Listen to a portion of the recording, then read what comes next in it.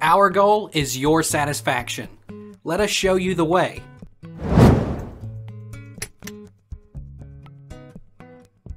How do I press OK on my TV without a remote? Both volume buttons can be used at the same time. You can find the menu button on the TV, Josh Paradise.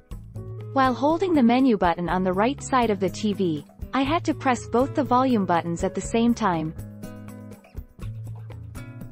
Will any remote work on my TV?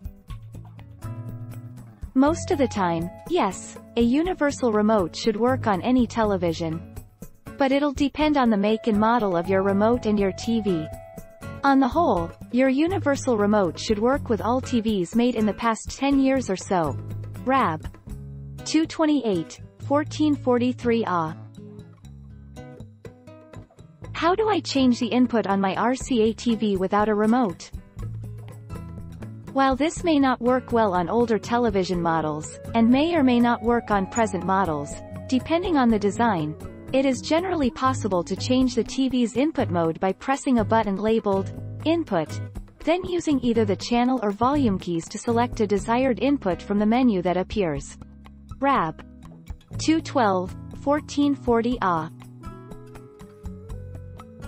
How can I connect my LG TV to Wi-Fi without remote? To connect your LG TV to Wi-Fi without a remote, you'll need to use a USB mouse.